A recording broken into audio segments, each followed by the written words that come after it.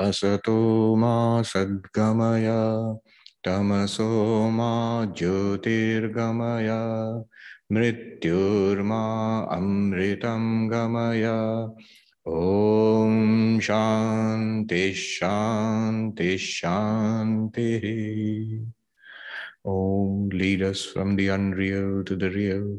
Lead us from darkness unto light. Lead us from death to immortality. Oh, peace, peace, peace. Good morning and namaste, everybody. And greetings also to our vast online audience, which is from all across the world. So many people have joined us for this session on Ashtavakra. I'm not saying final session because it will continue. I remember just like Mandukya, when Swami in the uh, Himalayas, he was starting a class on Mandukya Upanishad with Karika. So as usual, there are some impatient people. Somebody asked in the class, how long will it take? How long will it take to complete it? You know? And the Swami said, uh, well, the purpose is not to complete it. As long as you are breathing, Mandukya will continue. Similarly, as long as we are breathing, Archana will continue. Now, please join me, repeat after me the verses we have done, and then we'll go ahead. Chapter 15, verse 4. Natvam deho na te deho, natvam deho na te deho, bhokta karta nava bhavan. भोक्ता कर्ता न वा भवान्। चिद्रूपोऽसि सदा साक्षी। चिद्रूपोऽसि सदा साक्षी। निरपेक्ष सुखं चर। निरपेक्ष चर। रागद्वेषौ मनोधर्मौ रागद्वेषौ मनोधर्मौ न मनस्ते कदाचन। न मनस्ते कदाचन। निर्विकल्पोऽसि बोधात्मा। निर्विकल्पोऽसि बोधात्मा। निर्विकार सुखं चर। निर्विकार सुखं चर। सर्वभूतेषु चात्मानं। सर्वभूतेषु चात्मानं, सर्वभूतानि चात्मनि सर्वभूतानि चात्मनि, विज्ञाय निरहङ्कारो विज्ञाय निरहङ्कारो, निर्ममस्त्वं सुखी भव, निर्ममस्त्वं सुखी भव। विश्वं स्फुरति यत्रेदं विश्वं स्फुरति यत्रेदं तरङ्गा इव सागरे। तरङ्गा इव सागरे। तत्त्वम् न सन्देह। तत्त्वम् एव न सन्देह। चिन्मूर्ते विज्वरो भव। चिन्मूर्ते विज्वरो भव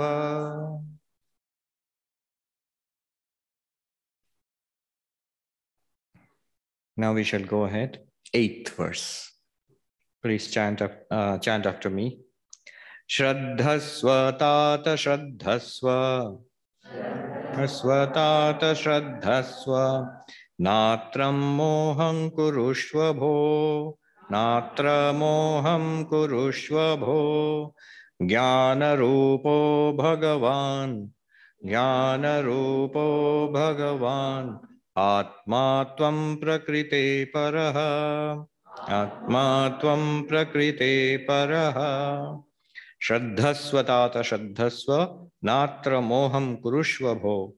ज्ञान स्वरूप भगवान। आत्मा प्रकृते परः। Translation Have faith, my son, have faith. Never confuse yourself in this. You are consciousness itself. You are the Lord, you are the self, and you are beyond nature. Let's see what Byrom has to say.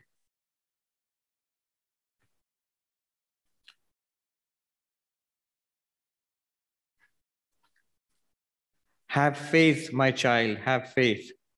Do not be bewildered, for you are beyond all things, the heart of all knowing. You are the self, you are God.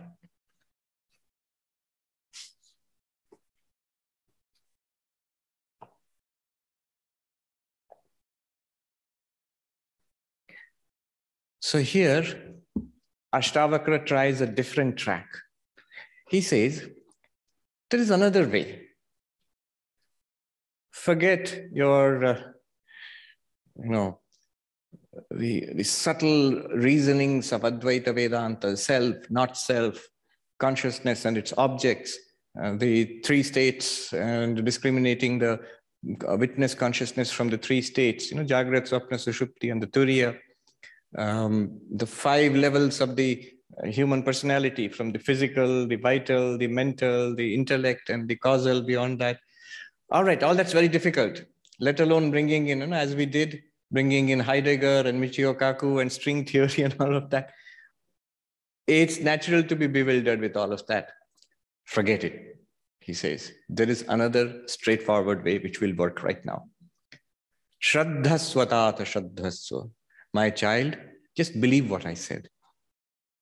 Just have faith on what I said, it'll work. You see, when I say there is a breakthrough, you keep um, keep at it, and there'll be breakthrough. Very clearly, you will see that this is a fact. And one of the signs of the breakthrough will be you will never be confused after that. It'll never go away after that. It'll remain effortlessly, and so on. Now, what happens is all that sounds great, but I have seen the reaction of many people to that is, okay, that sounds good. Now, what are you doing? I'm waiting for the breakthrough. Again, we postpone it to the future. There is some remarkable, extraordinary event which is going to happen. I'm waiting for that. And it can happen. The thing is, it's not important. What is important is right here and open and easy of access, shining forth. One way, one a shortcut you is straight away have faith in this. It works. I mentioned earlier the modern non-dualist Nisargadatta in Mumbai, who lived all his life in a slum in Mumbai, and fully uh, realized. Uh, somebody asked him, how did you realize that you are Brahman? And he said, my guru told me that I am Brahman. I believed him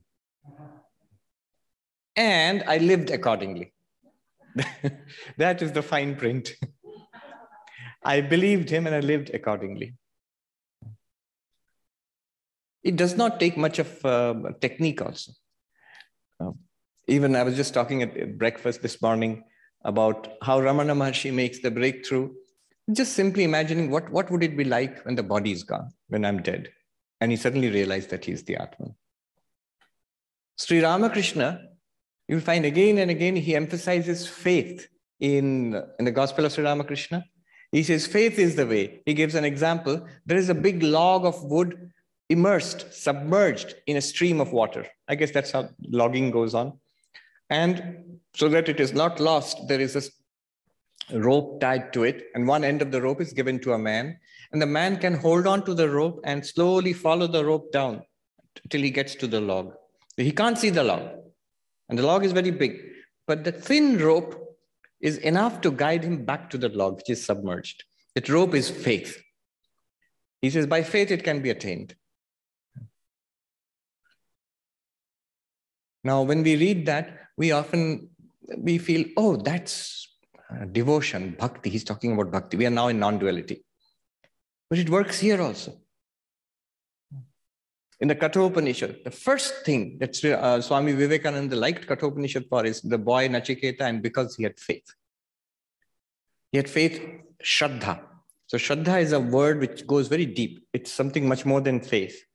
It means uh, astikya buddhi, that there is this ultimate reality. It's there. What these books say, it's true. I don't see it yet, it's true. Not only that, faith in oneself. I can do it they realized I can realize too. And I will realize in this very life. this faith. As you believe, so you are. And it works directly. Ashtavakra also says in another place whatever you believe, if you believe yourself to be free, you will be free this instant because actually you are free. If you believe yourself to be bound, you will be bound. That is, you will feel that you are bound. Shraddhasva tata shraddhasva. I remember this funny story I had read somewhere. It actually happened in Vrindavan, which is the place of devotion to Krishna. So there are many Vaishnava orders of monks there, but they are all devoted to Krishna. But there are other groups also, including non-dualists. So this Vaishnava monk thought enough of all this faith and devotion and love. All this is all this is so, so not logical.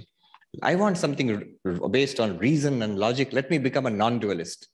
So he went to an Advaita teacher and um, said, I want to learn Advaita. I've had enough of dualism, you know, dualism and all that faith stuff. So the Advaita teacher said, fine. Then the first thing in Advaita is the fourfold qualifications. To learn the fourfold qualifications, please repeat after me, memorize. What are the fourfold qualification? Viveka, the discernment between the ultimately real and the non-real, the, the permanent and the impermanent. He says, fine, that I understand. My Krishna was also permanent and the world is impermanent. I understand the difference.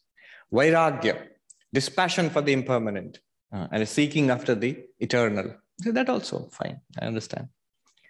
And then the next one is the sixfold discipline. We need discipline in spiritual life. Shama, repeat after me, calmness of mind. Shama, then Dama, control of the senses and then um, titiksha, spiritual toughness, fortitude, putting up with all sorts of sufferings on the spiritual path. And then shama, dama, um, titiksha, uparati, withdrawal from um, sensory engagement and enjoyment. And then all of this, the Vaishnava monk was nodding. Yes, yes, all this, it, it is in our path too. And I'm a monk also, so I practice all these things. Then samadhana, focus, Uparati, and samadhana, focus. Yes, of course, focus. You have to focus on God. You can focus. I guess you're going to tell me to focus on the self. Fine. Then he says Shraddha, faith, and the Vaishnava monk immediately became furious. What? Faith here too. Then he, in Hindi he said, "To mere Girdhar Gopal kya dosh kiye the? What, what harm?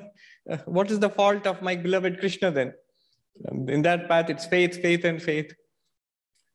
And of course, mumukshutvam, the intense desire to be free. Yes, faith here will work. Because it is true, you make a firm determination I am Brahman. You don't have to make huge changes to your life right now. But notice that I am Brahman, and hold on to this. Think that I am Brahman. Live like this, that I am Brahman. Um, one Swami whose works are available in Hindi only. He's one of the greatest uh, non-dualist teachers in the 20th century in India, Swami Akhandananda Saraswati. He was a great scholar, a pandit, a married man, a pandit, and he used to go around, um, you know, what is called Bhagavat Katha, that he would go around different places and organize talks on the Bhagavad, which is basically uh, devotion, knowledge also, devotion stories of the avatars of Vishnu, stories of Krishna, very popular. Now he says, how did he become a monk? So he says that uh, he used to go every year to Haridwar, Kankhal, on the foothills of the Himalayas, and he would organize a 10 day uh, recitation of the Bhagavat. And there he would go and pay his respects to the, the uh, you know, the noted, the esteemed monks of the, place of monks. So many monks and ashrams are there. One especially, Bhikshu Shankarananda. There was a very radical non-dualist monk, Bhikshu Shankarananda. His name was Shankarananda. Uh, by the way, one of our Swamis, Swami Dhireshanandaji, uh, he used to remain, he was in Kankhal, a very senior monk, um, disciple of Swami Shivanandaji. And he was very interested uh, in the wisdom of the monks in the Himalayas. So he would go around collecting it. He would visit them, write down what their teachings. And he used to go to his Bhikshu Shankarananda. And later he published a booklet about him also. Anyway, so this Pandit, his name was Shantanu. So this uh, Pandit Shantanu, he would go to this uh, Bhikshu Shankarananda and uh, uh, he said, one day I had this desire. I, I told him, Swami, if, would, I, would it be all right if I recited the Bhagavat to you, the stories of Krishna? Because he was hesitant. Swami is all about I am Brahman, and there seems to be no trace of softness and you know sweetness and devotion in him. But anyway, I'd like to tell. And uh, Bhikshu Shankarananda said, Yes, you can tell me. So every day he said, I would finish my um, the Bhagavat recitation for the public, and then I would visit this monk who stayed on a in a corner of a you know like like an ashram under a tree basically, and his entire dwelling was a cot. He would lie down on the cot. An extreme non-dualist. You'll, you'll understand by this. The Swami was once asked, "Sir, you are a non-dualist, Advaitin. We always feel that non-dualists have lots of books." surrounded by books. But yeah, you don't have any books. There's no books around you. Yeah, where are your books? So Shankarananda said, Oh, I have three books and I read them every day. What are those three books? Waking, Dreaming, and Deep Sleep. Jagrat, Swapna, Sushupti. And I realized that I am the Turiya in which all of these appear and disappear. So these are my three books which I read every day. So to this Swami, the Pandit would go and recite a very devotional text. And on the last day, this is when my recitations were over and I was to, supposed to go back to my home in Uttar Pradesh. Uh, I went and bowed down to the Swami, recited as usual, and I was going to take leave of him. And I looked up this austere monk, absolutely dedicated non dualist. He had tears in his eyes. And uh, Uh, when I bowed down and I said, I'm leaving tomorrow, he said, I have to give you something, Guru Dakshina. Something has to be given because you recited the Bhagavad to, to me. So come tomorrow early in the morning in that little hut on the bank of the Ganga. I will give you Guru Dakshina. So the Pandit said, All right. next morning he went early in the morning, and that monk Shankarananda was waiting for him on the bank of the Ganga. And then he went there, he pulled him close, sort of yanked him close and whispered into his uh, ears, Tattvamasi, you are that. Realize that you are Brahman, Aham Brahmasmi, I am Brahman. That's all. And then that Pandit writes that from that day onwards, he says in Hindi, Mera jeev bhav chala gaya. The whole idea that I was a limited sentient being, this person, it went away just by hearing this. After that, till today, I've never been able to think of myself other than as I am Brahman. Years later, he became a monk and one of the greatest teachers of non duality. Uh, but his, all his books are in Hindi. In fact, the classic books, his best books are two sets. One is the set of the Bhagavatam in two big volumes, and one is the set of the Mandukya Karika in four volumes. All the classes which I give a lot of it is drawn from his um, teachings.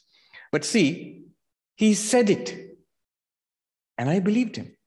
And from that time onwards, I couldn't, I could never think of myself as a limited human being. Shraddhasva tata shraddhasva. Natra moham kurushva bho.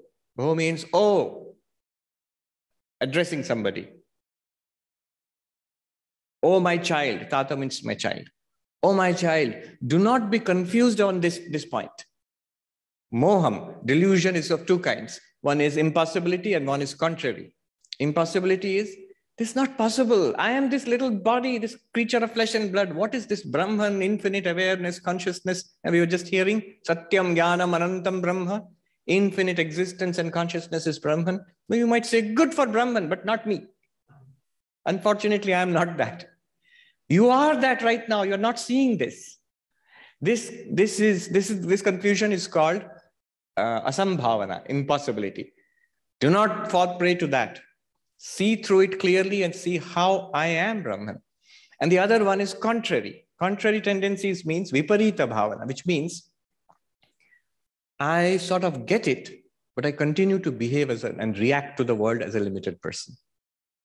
I am there, others are there. These are good, these are bad. I like this, I hate that. I want these things in life. I want to give up those things in life. These are my projects in life. An individual sentient being. I continue to behave like that. That is called the contrary tendencies. So these are the two types of moha. delusion. Do not fall prey to this. Have absolute conviction. I believe I am Brahman. It should be equal to I know I am Brahman.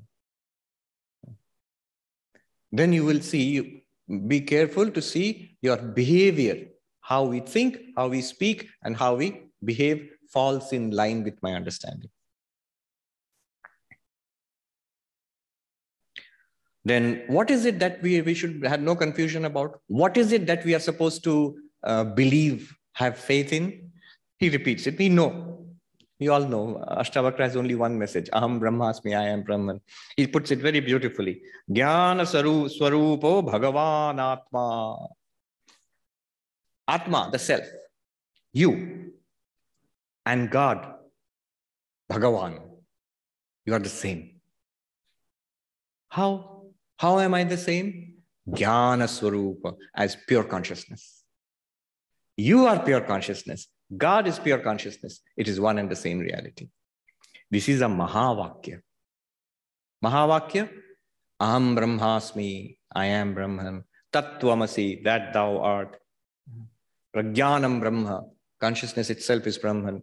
Uh, Ayam Atma Brahma, this very self is Brahman. There, Brahman and Jiva, Jiva Brahma Aikyam, the oneness, the identity of Jiva and Brahman are. Um, so can we have the fans? It's becoming rather warm, I think, here. Is it possible? Fan or the AC, whatever. Hmm. Do you feel it or is it just me? Little, little gone, huh? Yeah.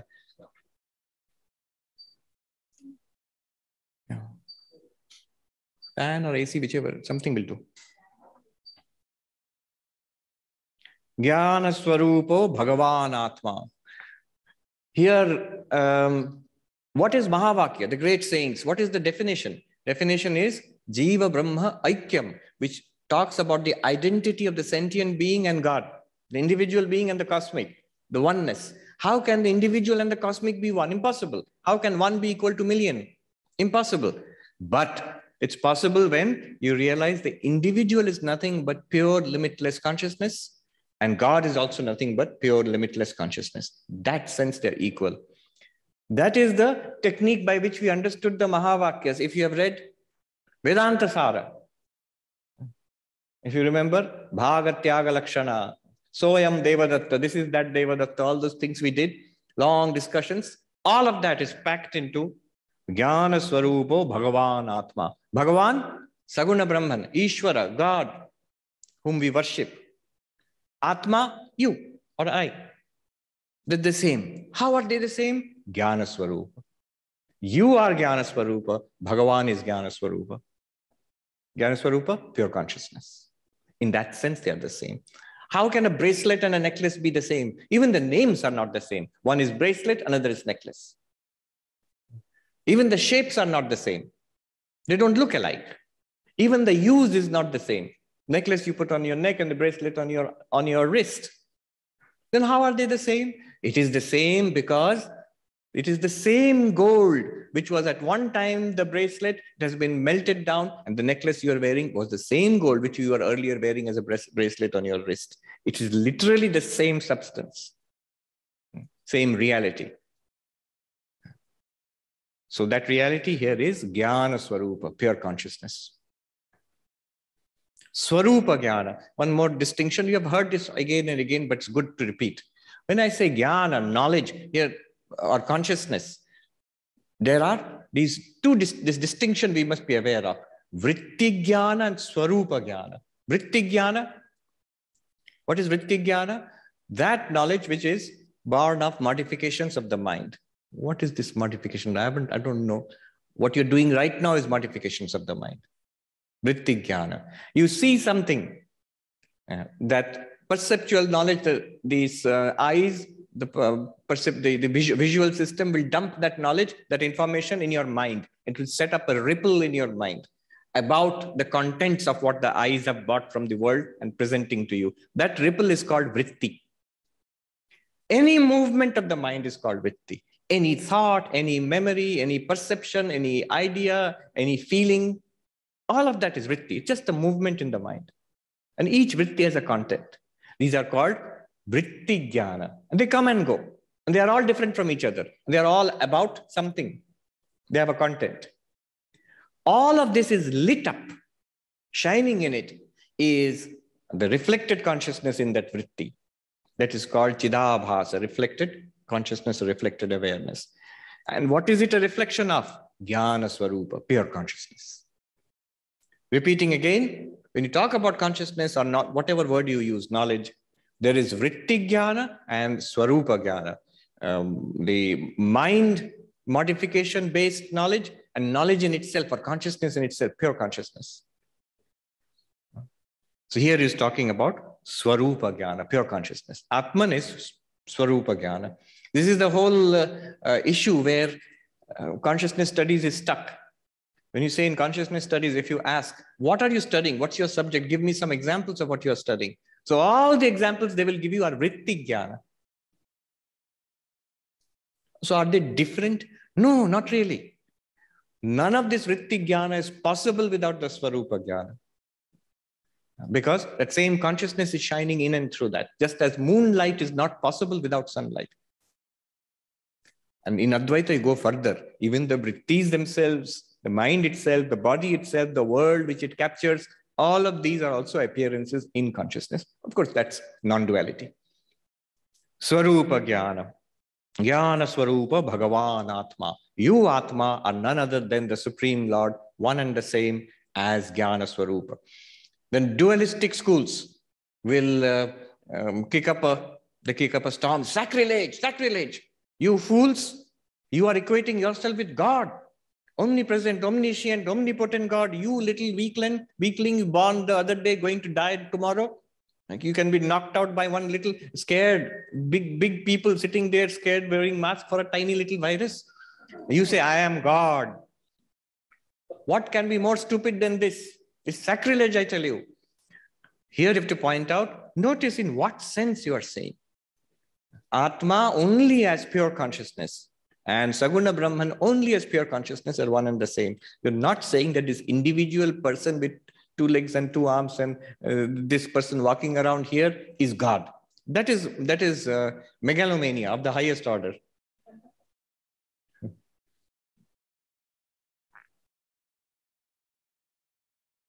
That story is there of Ramdas. Um, so his brother was in a lunatic asylum because he claimed, so he went to visit his brother. By that time, he was this great teacher and all. So he had gone and uh, he went to see his brother, and his brother said, You know, it's so unfair. You say you are Shiva, and every Shivoham, and everybody bows down to you and praises you to the highest. What a great teacher. I say I am Shiva, come and worship me. They lock me up. Where is the fairness in that? Here is the distinction. The Ramdas replied, but brother, when I say I am Shiva, I mean that I am and you are and everybody else is, there is only one reality. Shiva alone is shining forth as this universe. When you say you are Shiva, you mean you, this particular person is Shiva and the world should come and worship you. that is madness. This is enlightenment. Tvam prakrite paraha.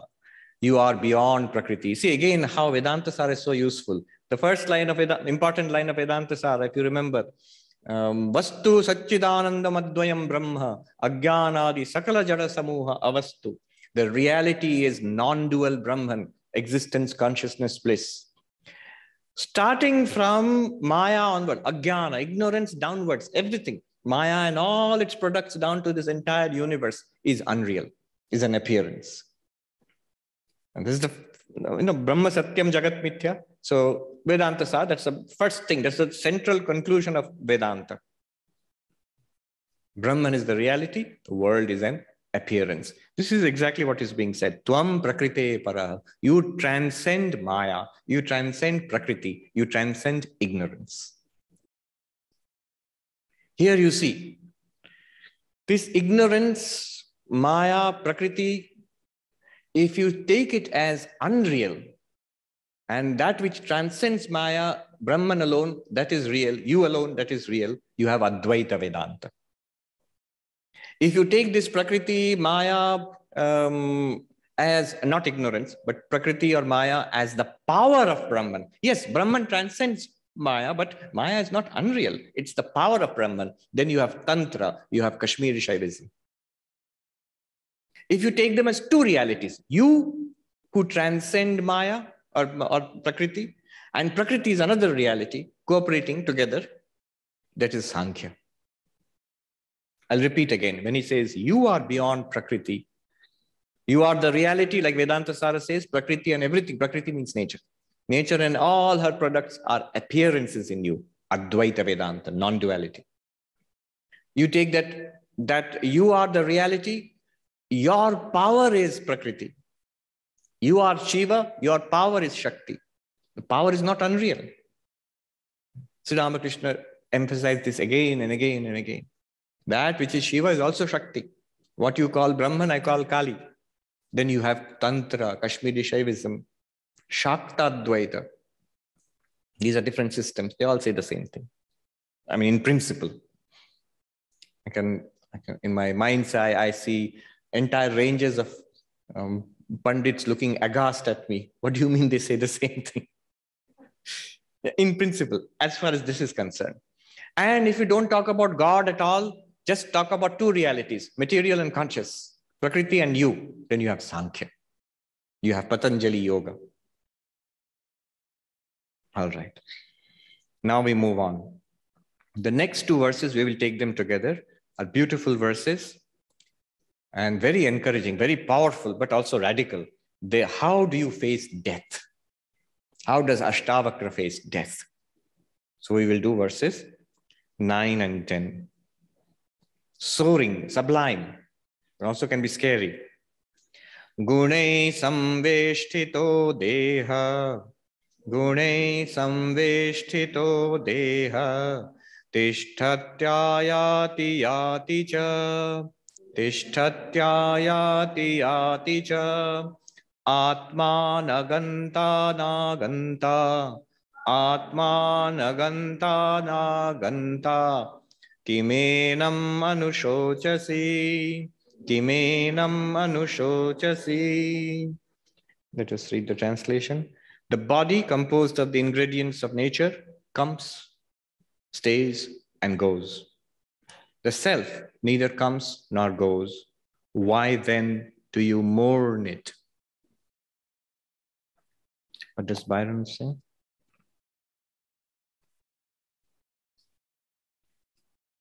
The body is confined by its natural properties. It comes, it lingers a while, it goes.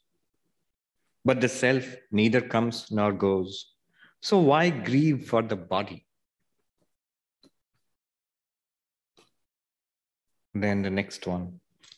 Dehastishtatu kalpantam gachat Dehastishtatu kalpantam Dehastishtatu kalpantam गच्छत्वद्यैव वा पुनः गच्छत्वद्यैव वा पुनः क्व वृद्धि क्व च वा हानि क्व वृद्धि क्व च वा हानि तव चिन्मात्ररूपिणः तव चिन्मात्ररूपिणः Let the body last to the end of the kalpa, the cycle. Or let it go on even today. Let it go even today. Where is there any increase or decrease in you who are pure intelligence? Let us see what Byrom says now. if the body lasted till the end of time or vanished today, what would you win or lose? You are pure awareness. Hmm? Nicely said. If the body lasted till the end of time or vanished today, what would you win or lose? Your pure awareness.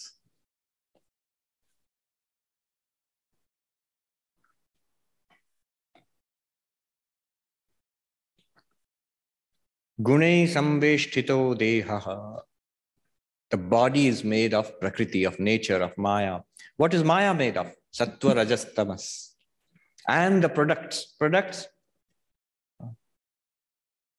sky and air and fire and water and earth, the, the elements of the periodic table, they go to make this body. Whatever is compounded, Bhagavan Buddha, 2500 years ago, all that is compounded will perish. That which has been put together will fall apart. All compounded things decay. Well, okay, finally, if they decay, no problem. Right now, as long as it doesn't decay right now, it is decaying all the time. It is falling apart all the time. It is changing continuously. Anityam, anityam, sarvam anityam. Impermanent, impermanent. Indeed, all is impermanent.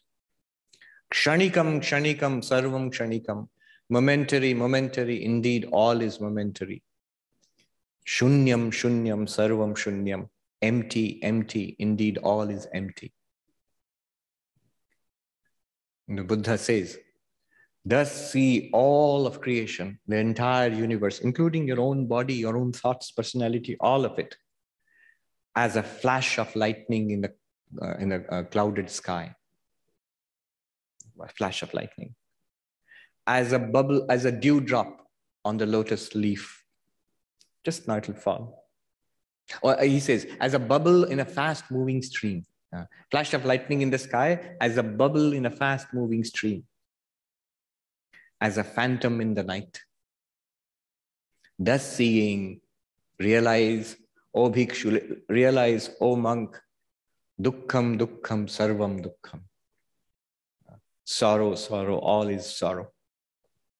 They say for the, for the thinking person, for the sensitive person, all is sorrow. So for those who do not think, there are problems and sorrows which I have to avoid. And there are many nice things which I can chase.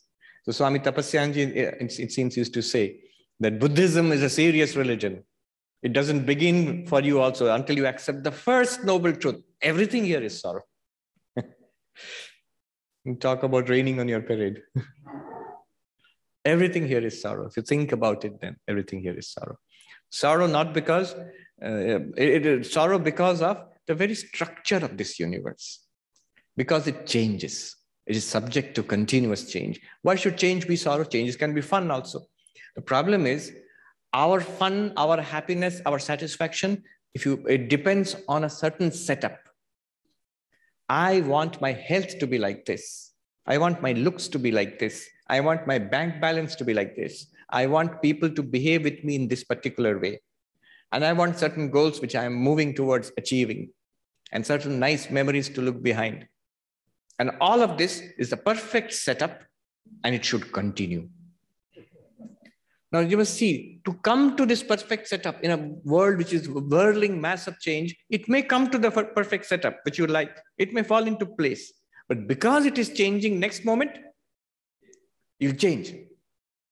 Your perfect setup change. Then upset. Set up not to our liking, then we become upset. And if it's continuously subject to change, then most of the time we're going to be upset. There are only one or two setups which we like, and everything else we don't like. Not only that, death is there, the final falling apart of this physical body. So, gunai samveshtito deha, tishtati ayati yati cha. It comes it stays for some time and then it goes. Inevitably, you cannot stop it. Nobody ever can stop it. You may be the most fully realized non dual uh, Brahman ever. You can't stop the body from disappearing. This is the very nature of the body. Now, he says, but you, awareness, in which this entire drama unfolds, you neither come nor go. Naganta Naganta. You are not something that goes away, not something that comes. There was never a time when you were not there. There will never be a time when you will not be there. As existence, as consciousness, you are immortal. As body, continuously dying, all the time dying. Kimena manushochasi. Why do you grieve? Why do you grieve? One, I still remember one of our monks who taught us when we were uh, novices. He says it's like Remember, it is in Calcutta, hot and humid. So if I put an ice cube on the table here, we were already melting. So he says, if I put an ice cube, the ice cube is going to melt. I mean, all the monks starting, we were sitting there in, the class, we felt we were melting, it was so hot. If you put ice cube, it's going to melt. And if you put ice cube, it's melting and you start um, wailing, oh, why is it melting? Oh, alas, the tragedy of it all. It's like that, weeping for the body. So are we dismissing death? Are we being, are we trivializing death? Some people might say you are um, you're, you're trivializing, trivializing such a great tragedy. No, Advaita Vedanta does not trivialize, just tells you the truth the way it is. Are you denying death altogether? Not at all. It is true that it is very sad also in this sense that that person whom we loved, liked, lived with, that person is truly gone. As pure consciousness, as the Atman, it's there. As the, even the Jivatman is there, but the Jivatman is not equal to the person. It was this person in this life, some other person in another life. In a future life, it will be another person.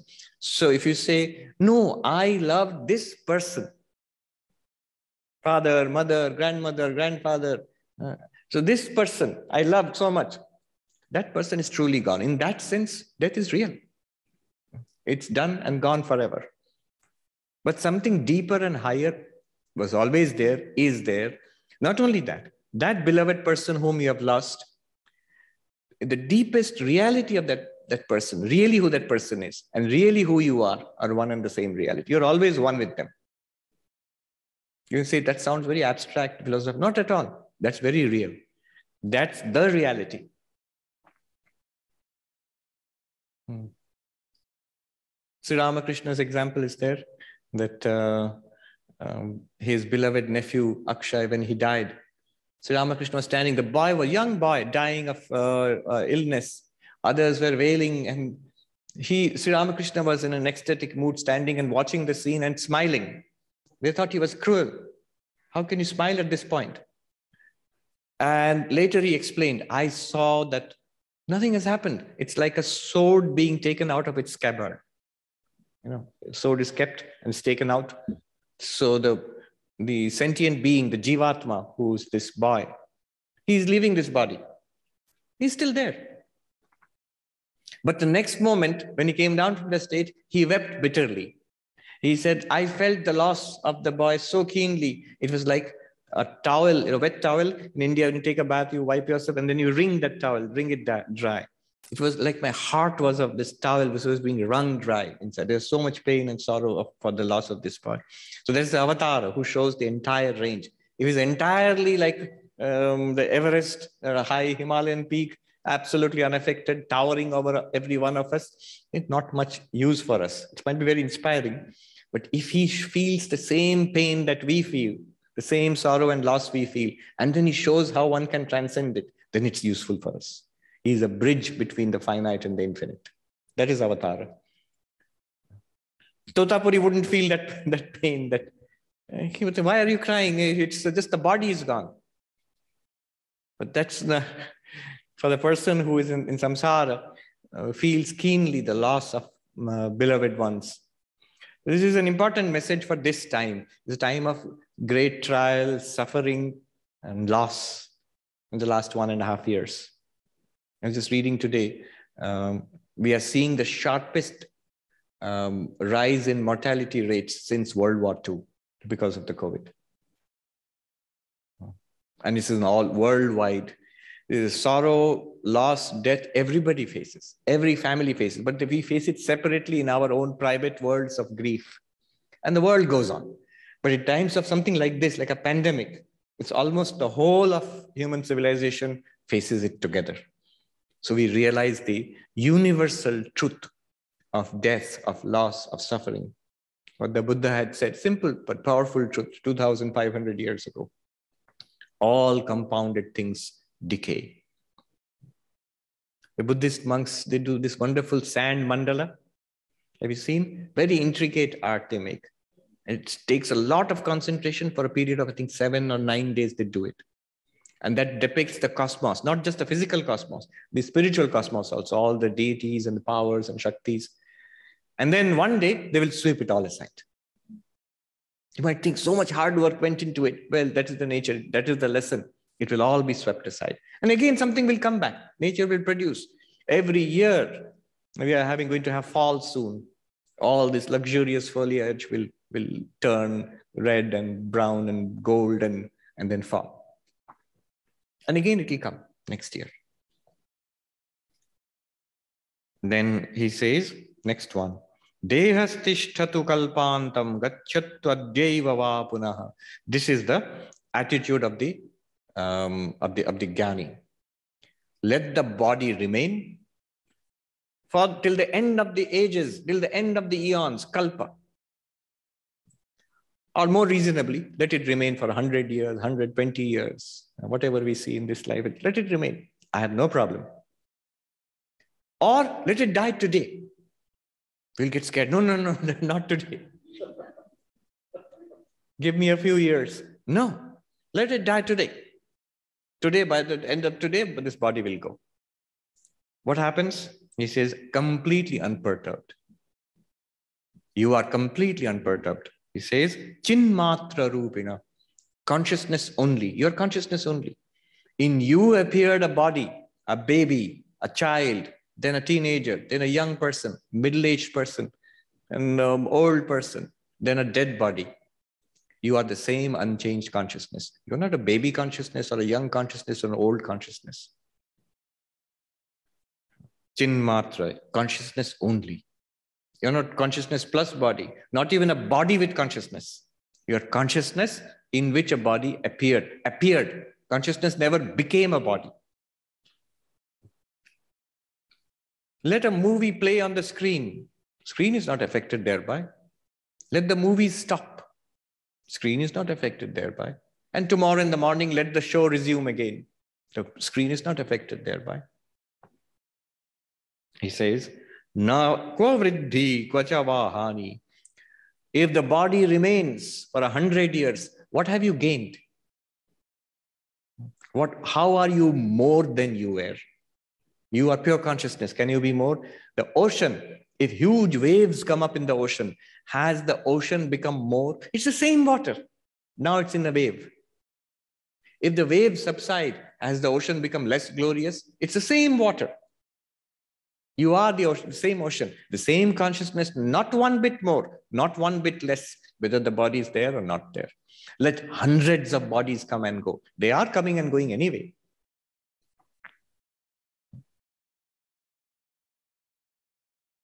Completely unmoved. You are this mass, endless mass of consciousness.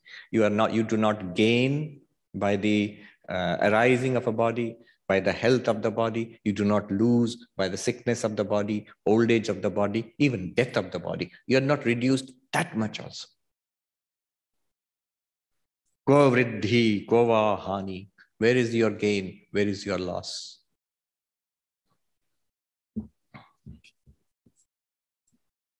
Now moving to 11th verse.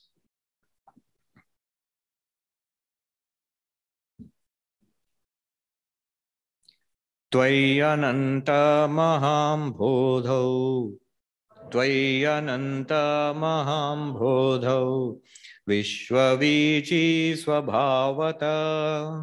विश्ववीची स्वभावत। उदेतु वास्तमायातु। उदेतु वास्तमायातु। न ते वृद्धि न वाक्षतिः।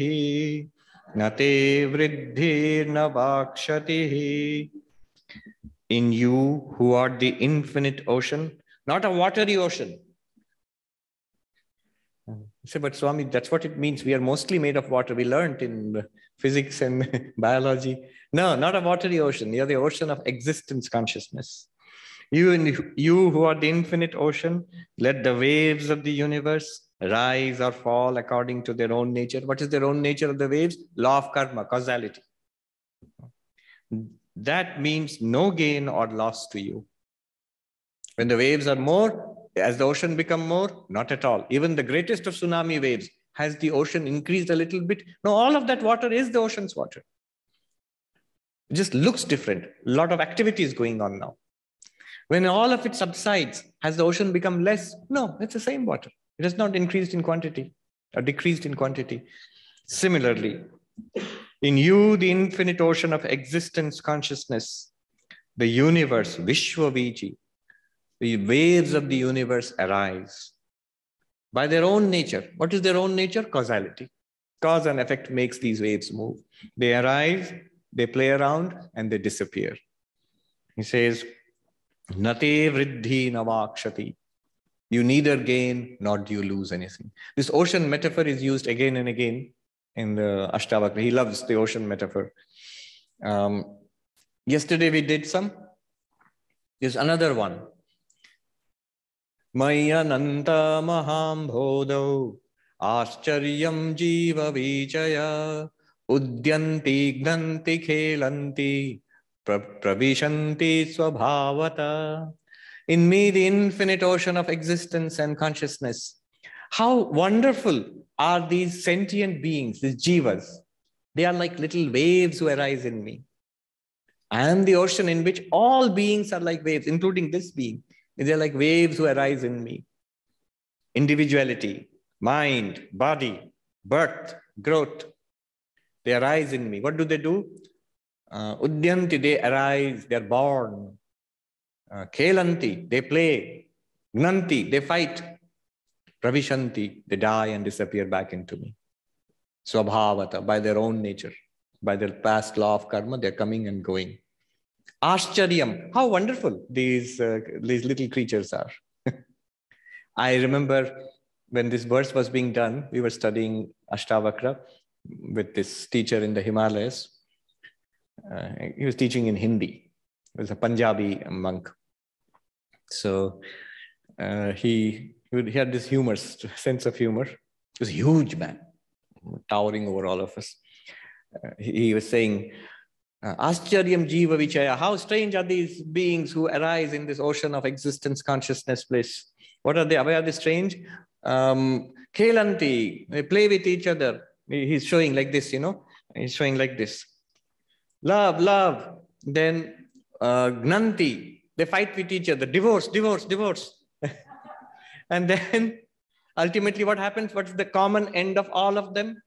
Pravishanti, they disappear back into the unmanifest, where they are all arisen from. What a drama. if you are one of those creatures, it's not a drama, it's a tragedy. It's terrible. You'll, you'll be ground down by the machine of this universe.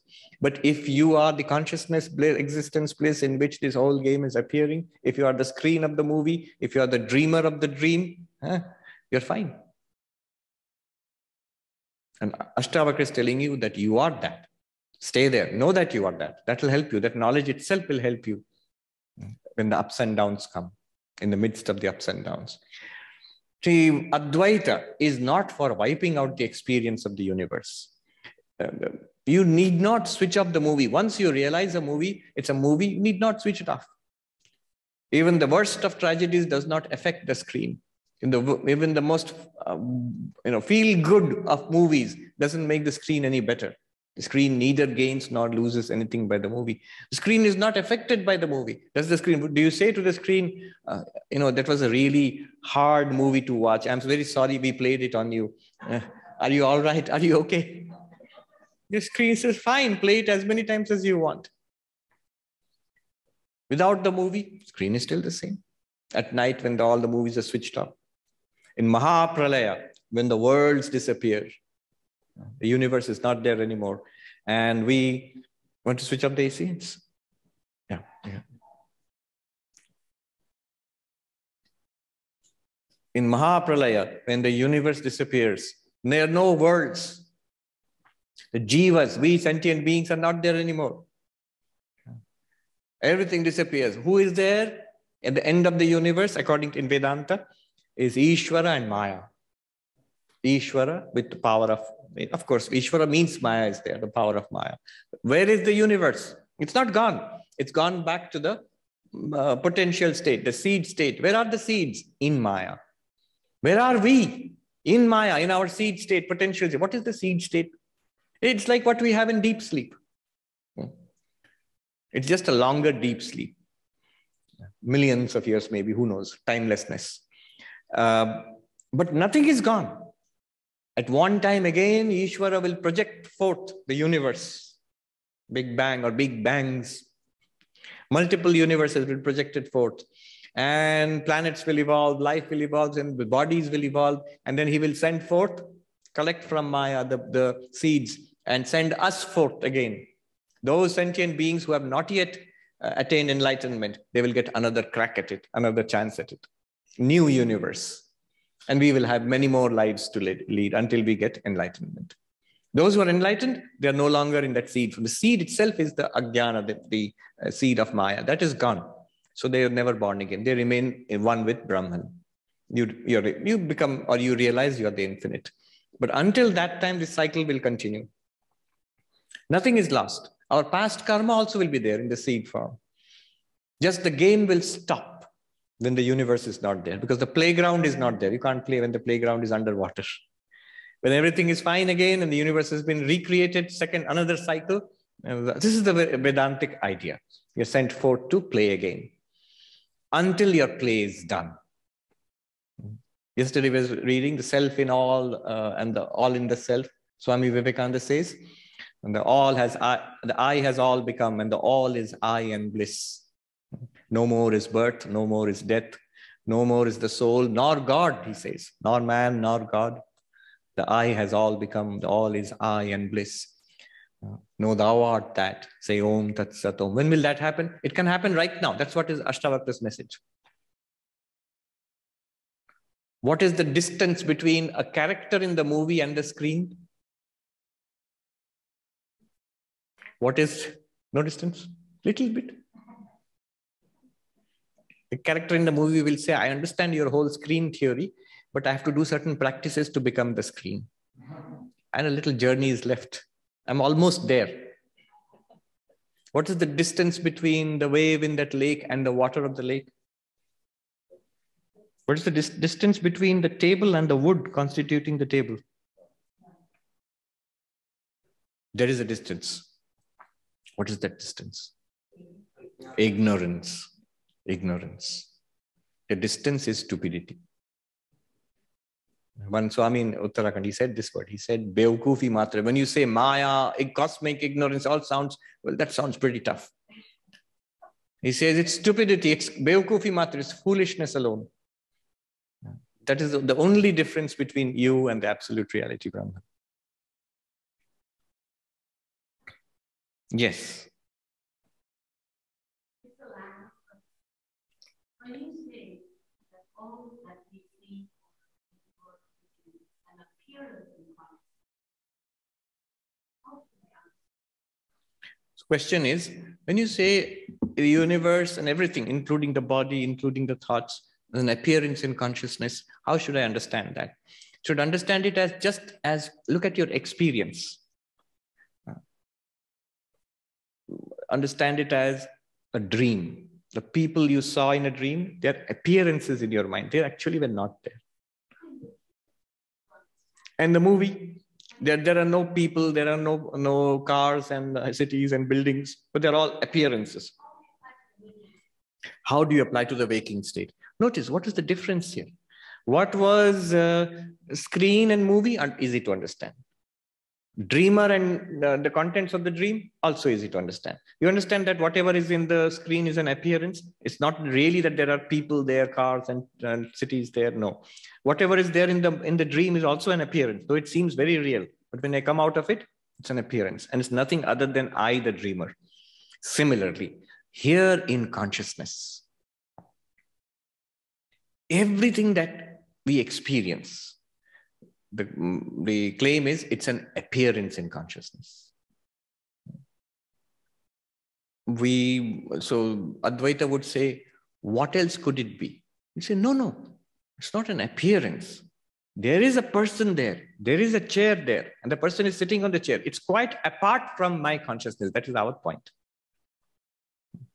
It is external to my consciousness. It exists by itself, or the Buddhists would say it exists from its own side by itself it exists i have nothing to do with it i can come and experience it yes and when i experience it i experience it in my consciousness but there is a reality outside Um, Gaudapada would say, isn't it exactly the same in a dream? When you go in a dream, when you're in a dream, doesn't it feel I'm talking to my friend and my friend is outside me. I'm taking a cup of coffee. The coffee is outside me. Now I put it inside me. And when I wake up, what would it be like? I, friend, coffee, everything was an appearance and it was in my mind. Well, isn't that so? How uh, is it different here? Because we think it's outside. In the dream, also, we thought it was outside. And all right, that's an argument.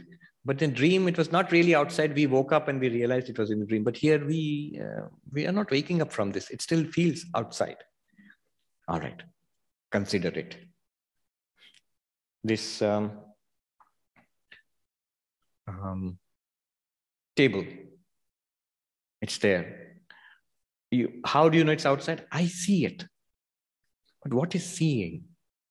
You'll see it as a shape, a color, a certain size, a certain distance. The distance, color, shape, structure, what you are seeing, is it anything apart from that perception of seeing? What I'm saying is, you say, yeah, I'm seeing it, but there is a table outside.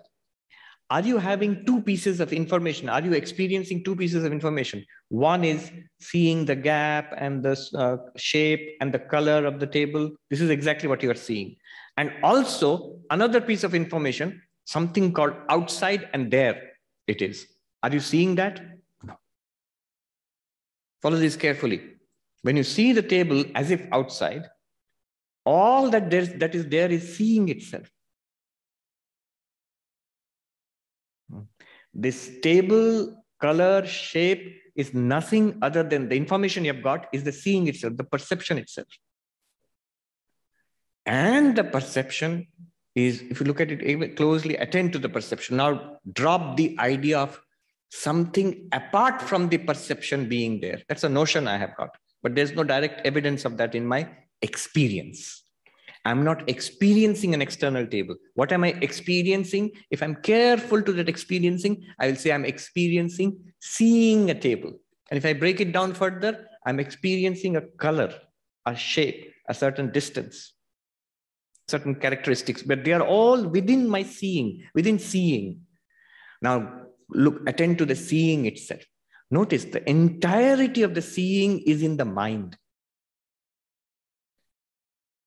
I am, there is no part in this where I have direct experience of uh, eyes and the optic nerves and electrical, in the, the image formed in the retina and the little electrical bursts going along the optic nerves to the brain centers. None of that, all that I've read.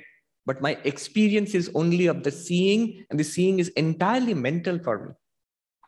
The uh, light, the eyes, the entire inside the neurological system of seeing, none of that is in my experience actually. In my this experience of seeing is just seeing, and it's seeing in the mind. mind, it is mind, internal. But go further attend to the mind. In the mind, whatever I'm experiencing, like seeing a table, not one bit of it is other than awareness. In awareness arises this vritti, this modification of the mind, seeing table. So now we see the steps you've gone from a notion of an external independent reality existing outside me. I say that if I'm true to my experience, it is the experience of seeing. Step one. I'll come to you. Step two, I see that seeing is entirely mental actually. Even the idea of a body, eyes, all of this is mental actually, in the mind. Step three, whatever is in, the, in the mind is shining in consciousness, is revealed in consciousness. Do I have any notion of anything mental which is beyond the edge of consciousness? Here is my consciousness up to this, and beyond this is mind. No, I see everything in the mind. I see the mind in consciousness. Whatever is in consciousness must be pervaded through and through by consciousness. It is consciousness alone. It is internal to me.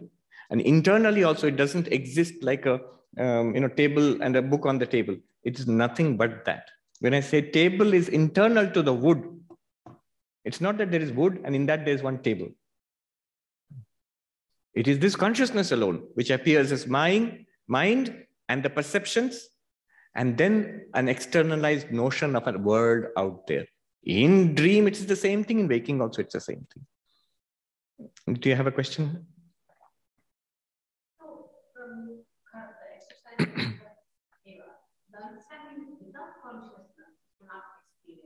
anything yes he says she says that without consciousness you cannot experience anything yes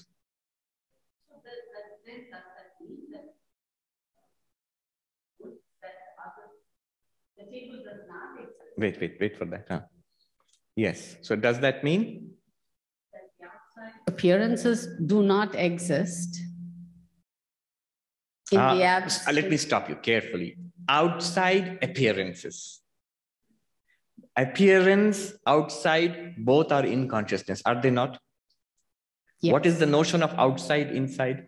Outside the body but body and outside the body do, do they not both appear in your consciousness yes yes now think about outside the consciousness what is outside consciousness nothing ah very good very good what is outside consciousness nothing what is this consciousness relationship between you and this consciousness? No relationship. You are that. Outside you, what is there? Nothing. Everything that you experience in life is in you, the awareness. And actually, it is not in you, the awareness. In consciousness, can a table exist in consciousness? No. If there's a physical table outside, even that physical table cannot come into your eyes. You have to call 911 eyes can receive only light. This is our understanding. And the mind can receive only thoughts. Even optical impulses, brain signals cannot come into the mind. True or not? So mind can receive, there can be only thoughts in the mind. And the mind appears in consciousness. In consciousness, what can there be? Only consciousness. So we are reduced to this ama amazing position whatever we are experiencing, whoever we are experiencing, and time and space and all of that, matter and energy, is nothing but consciousness. You, the consciousness. Tattvamasi. How do you do this? It's a good question that you asked. So here is the technique. Have you seen this in pujas you do? Phat, phat, phat. Yeah. First, Phat is a, is a Bija mantra. So Phat, you reduce this notion of external world into perceptions. You notice that our, in my experience, there are only perceptions. Apart from perceptions, there is no possibility of knowing an external world. At this point, Bill, Bill Conrad, he said, stop. I can put a camera, this camera, and we can all leave the room, then come back and see. And in the camera, the picture of the room, the room will be there, even without our consciousness. We are all out there. But I said, ah, Bill, but in your consciousness, you decided to set up the experiment. In your consciousness, everybody left the room. And in your consciousness, there was an empty room. In your consciousness, you come back and check the camera. In your consciousness, camera shows you an empty room. Is that true or not? He said, That's right. Hmm. What I said yesterday, both known and unknown are uh, appearances in consciousness. The first thing is reduce everything. Reduce means notice everything that you know in life, you experience, directly experience in life. There are many things you know which are not um, sense perceptions. You read them, they're mental. We'll come to that. But before that, everything that you experience uh, is sense perception. So part. But all the sense perceptions, like the tables, is which is seeing only, is mental, subtle, phat, the second one. And what is mental uh, appears in the mind is nothing other than consciousness, the causal level you make. Three levels. Stula, Sukshma, Karana. You dissolve the Stula into perceptions only perceptions into mind only, mind only into consciousness only. This is the transition between um, gross to subtle, subtle to uh, causal, Phat. Causal to consciousness only. Phat. What do you do this with? With anything that you um, uh, encounter in life. Do it mentally. In the front, of an annoying person, don't do phat, phat, phat. Thus, I dissolve you into consciousness. He'll probably punch you on the nose if you do that. Good. Good question. Now, last one we'll do 12th and then, then we'll take a few questions. 12th. तात चिन्मात्र रूपोस्ति तात चिन्मात्र रूपोस्ति sorry तात चिन्मात्र रूपोसि तात चिन्मात्र रूपोसि न ते भिन्नम् इदं जगत् न ते भिन्नम् इदं जगत् अत कस्य कथं कुत्र अत कस्य कथं कुत्र हेयोपादेयकल्पना हेयोपादेयकल्पना My child, you are pure intelligence itself. So see the words they use, don't get confused. Swami Vivekananda says knowledge itself. He means consciousness, awareness. Here, the translation is your pure intelligence, means pure consciousness, awareness. Ah. Ata kasya, okay. My child, your pure intelligence itself. This universe is nothing different from you. Very important point. Hmm. What we are doing just now. What she asked was, how is this not different? This is external to me. By this process of analysis, we see what seems to be external to me. If we carefully track in our experience, it is in our experience, not separable from our, from our experience, nothing but awareness.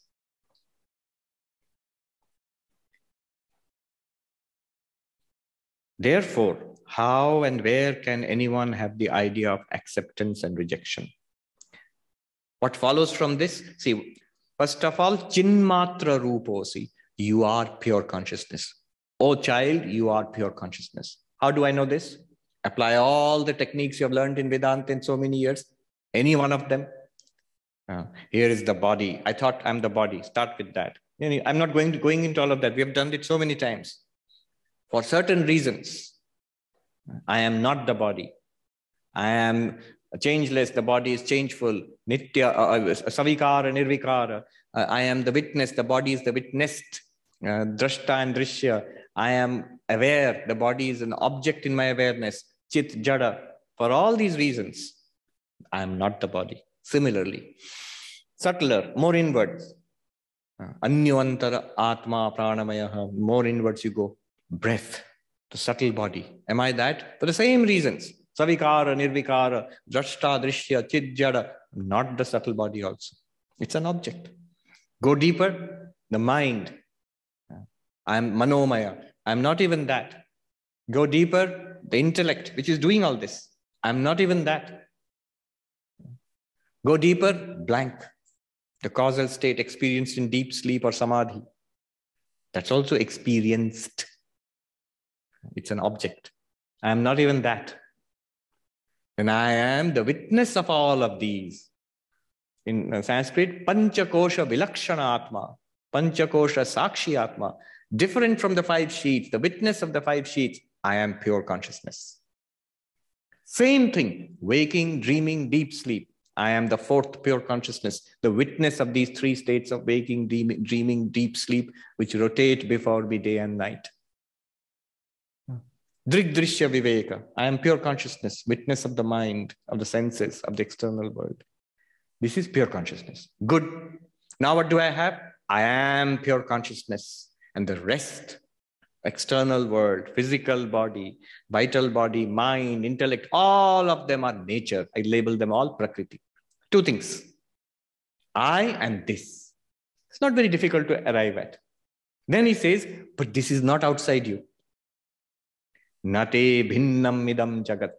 The universe which you separated yourself from. I am pure consciousness. This is the universe. Whatever is this is not I. Anidam chaitanyam, not this. Neti, neti, neti. I am the pure consciousness, which cannot be denied.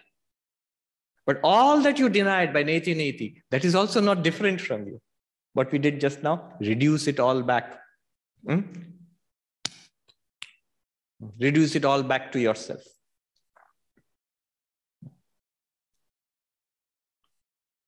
Don't go around doing that. But you might have noticed it in puja as it's done. Yeah. Yeah. Many people don't know the meaning of it. Yeah. Phat. Phat, huh. Buddhism. Tibetan Buddhists, they use this. Any problem, he says, you reduce it. Reduce it from, first of all, it's a perception. Our real problem is it's outside. That guy, annoying guy, outside neighbor, outside neighbor, annoying guy, whole thing is something that you are seeing and hearing perception.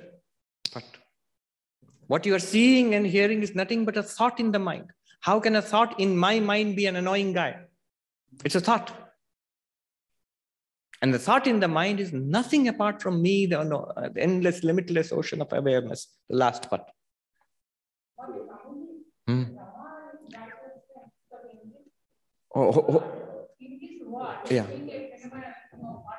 You have to take this advice from Atman, the intelligent reason is confused in term of life because people, ordinary people cannot reflect borrowing money, a mind to reflect that pure consciousness in any action because the All ordinary right. people I, do not understand, I understand what is your Wait. mind yeah. is saying because it is highly intelligent. Yes. Thank you. Uh, what I mean is, first of all, forget ordinary people.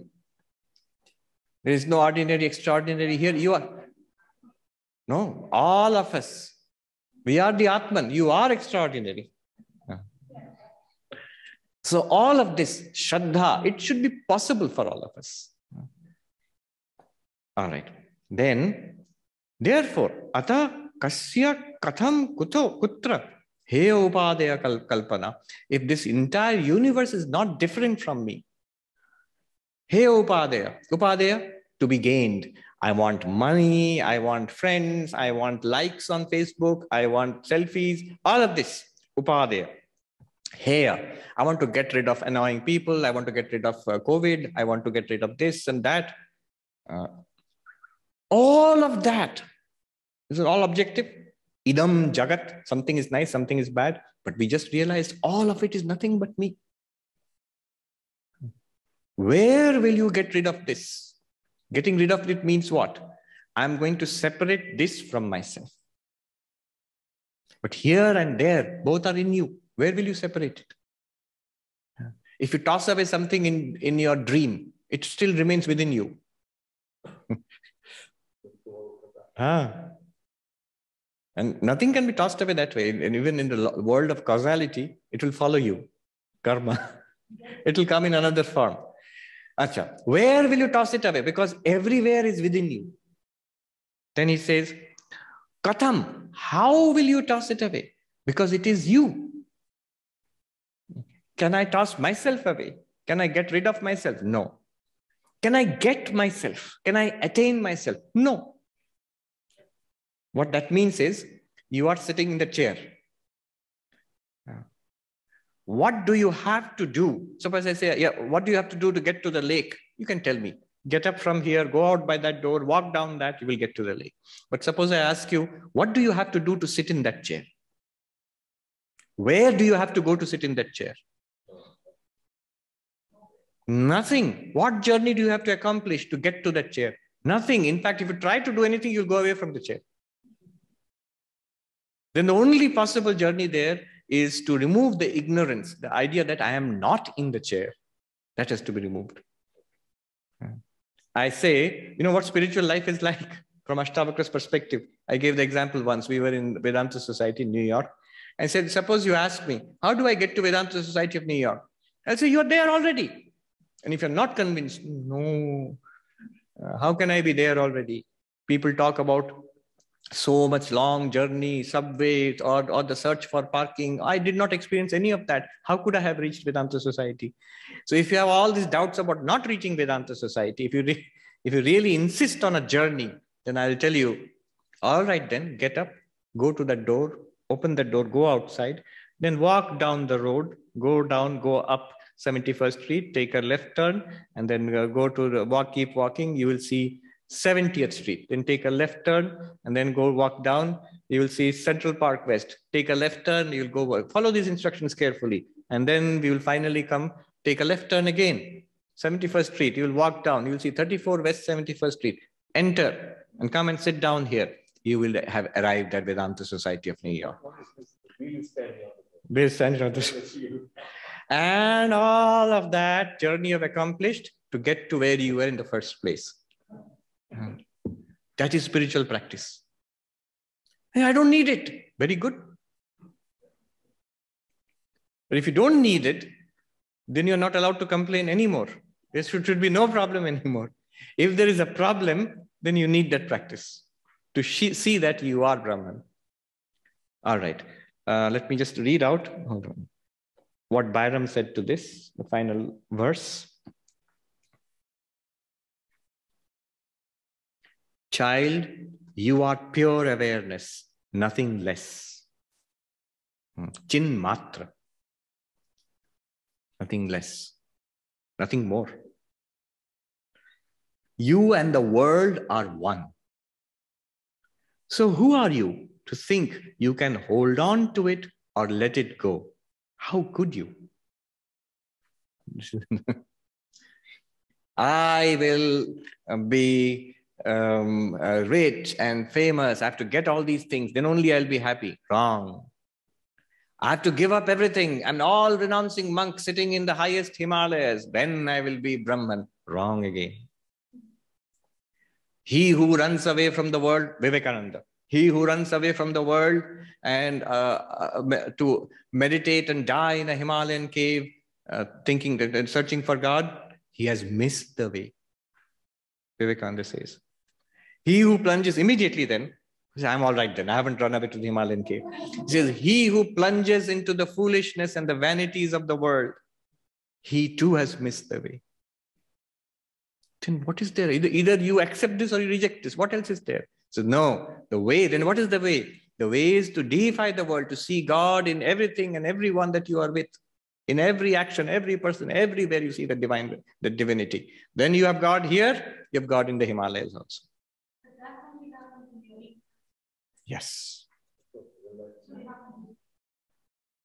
Mm, if you follow Ashtavakra, you can get it right now. If you're feeling that no, it's not happening, then do spiritual practices. Yes.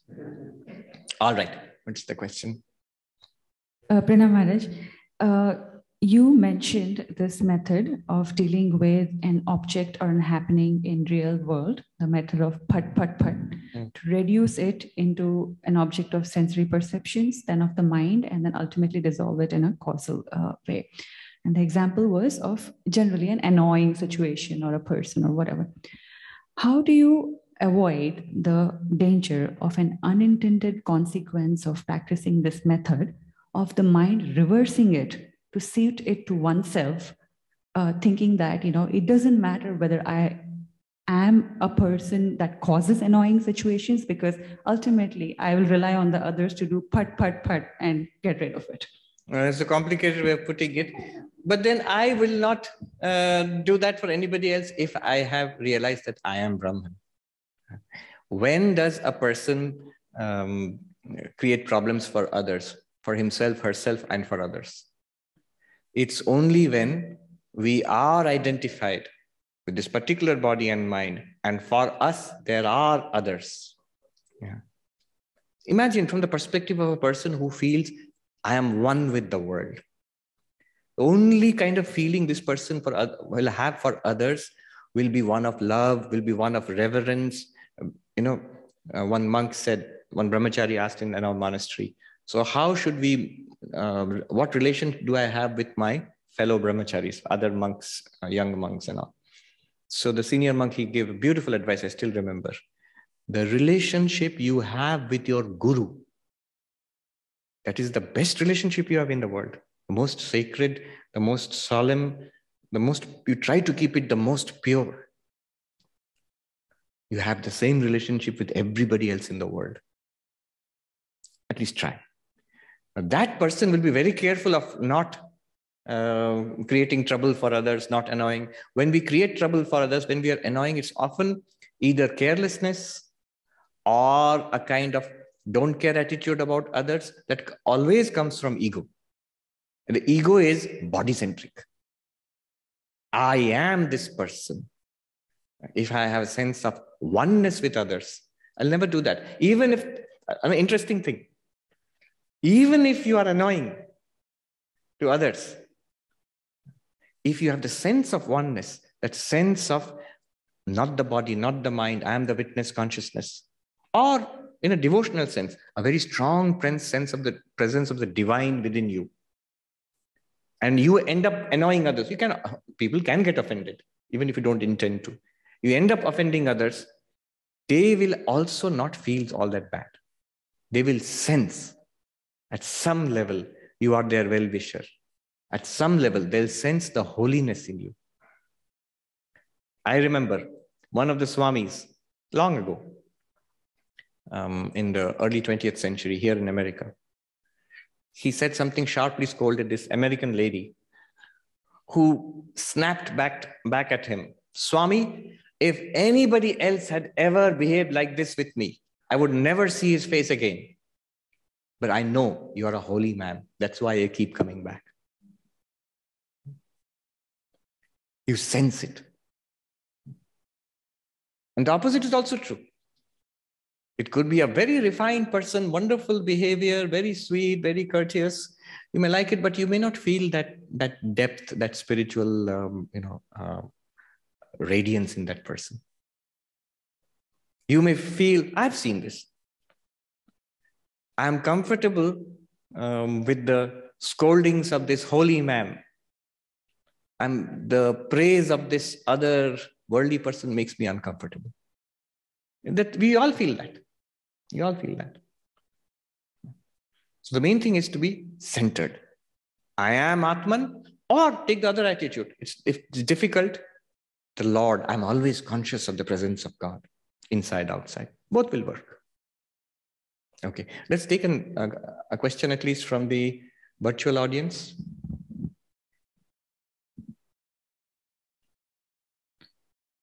Swamiji, this is a request for clarification on the 10th verse.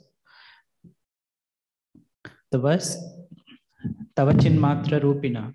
All the translations seem to ignore the word Rupina. Does the word here mean a form of consciousness? Hmm. No, not form of consciousness. Consciousness itself is formless. So Chinmatra Rupina is just a figure of language. It means, means Chinmatra. What is your nature? Of what form are you? Your form is formlessness. What is your nature? Your nature is consciousness. Chin matra rupina, consciousness only. Yeah. This a question here, Shaker. We'll end with this because we have run out of time. Ram Swamiji. Yes. First of all, thank you so much for all the wonderful teachings these past four days. I'm sure everybody agrees that they have been very spiritually rewarding and inspiring. Thank you. Thank you. And speaking, you know, thinking of uh, the theme of the retreat, uh, my question is, is it fair to say that bhakti is uh, predominantly the function of heart and Advaita Gnana is predominantly the function of mind? Mm-hmm. if so, I was wondering, you know, how much of a role heart plays in the Advaita Gnana? Mm. Thank you. it's a good question. A monk whom I respect very much once told me, you know, you think that Advaita is uh, a function of the intellect, that this non duality is understood by the intellect. No, non duality is understood by the heart. Look at this book. Not the intellect of awareness, the heart of awareness, not the mind of awareness, the heart of awareness. Yes, that oneness is uh, uh, easily grasped and put into practice by the heart. And of course, devotion is of the heart also.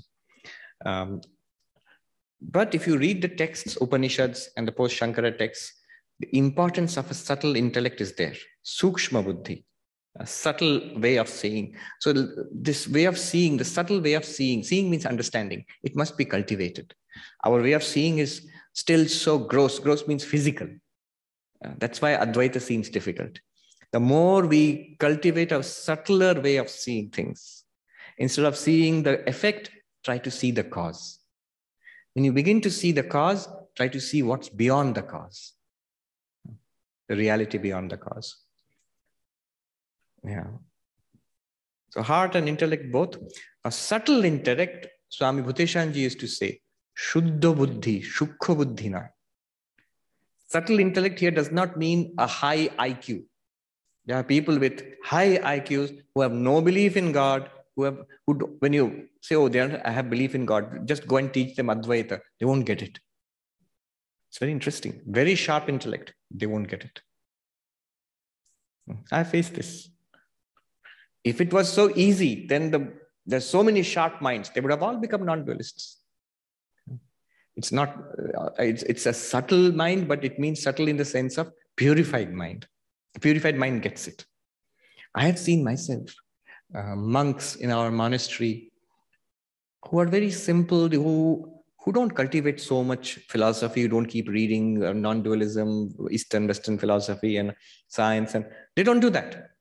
They have a simple devotion to Thakur. But when I talk to them, I discuss, sometimes I talk about some of these issues, they grasp it just like that. It seems true to them. It seems obvious to them. So, what is the difference? A, a subtle philosopher is still uh, reluctant about accepting this. The logic, I've, I've talked to a very sharp, this lady was in a plane next to me. Uh, she said, So tell me about, you're obviously a man of religion, so tell me about your belief system. Explain Advaita. She was a, um, a neuroscientist going for a conference, very sharp person. She understood all of it. So there's a very quick on the uptake. She understood all of it, and she said at the end of it, I can't find any fault in what you are saying, but I don't believe it. Good. Om Shanti Shanti Shanti Hari Om Tat Sat Shri Ram Krishna Arpanamastu. The end of the retreat, we give a Jai. Jai Shri Guru Maharaj Ji Ki Jai. Jai Mahamai Ki Jai. Jai Swami Ji Maharaj Ji Ki Jai.